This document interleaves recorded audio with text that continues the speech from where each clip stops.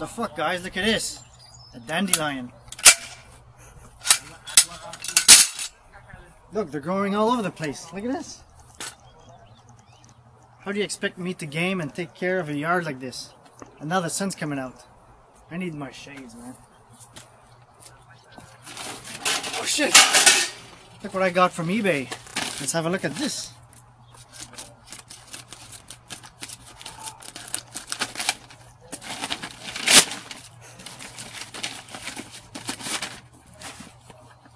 Hmm, interesting box. It's like fucking Christmas here.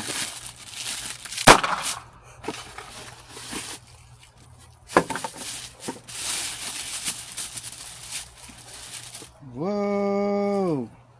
Yeah. Shades for the gamer, right?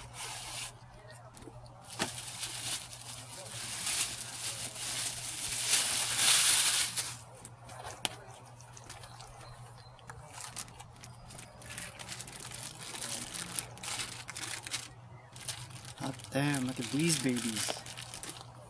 I'll just put that on the floor for a second.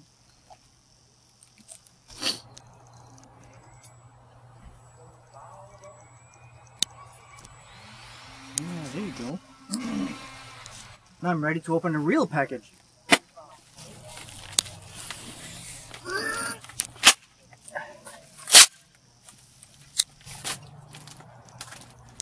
Well, looky here. The guy packaged it pretty well. Gargoyle's Quest 2. Gargoyle's Quest 2. yeah. Uh, the first one was actually on the Game Boy. And it was so popular that they decided to make it on the NES. But the thing is, it came out in 93, I think, or 92, which was a bit too late because the SNES came out. So because it wasn't that popular, it's now selling for about about 120 bucks on eBay right now. So uh, lucky me, I got it now.